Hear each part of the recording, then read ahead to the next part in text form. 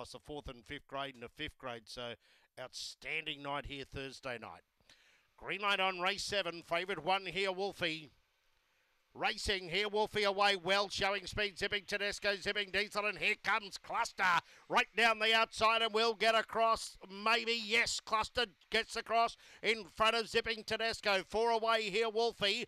Checked out of it early were zipping Diesel together with Black uh, Delight and last of all Georgie Chu coming off the back. Cluster leads by three over zipping Tedesco here. Wolfie to the outside and then Titanium Gun. Cluster leads around the bend. Three clear here, Wolfie. Then Titanium Gun and it's all Cluster. One by four in the end. Titanium Gun maybe second in front of here, Wolfie. Followed by Zipping Tedesco.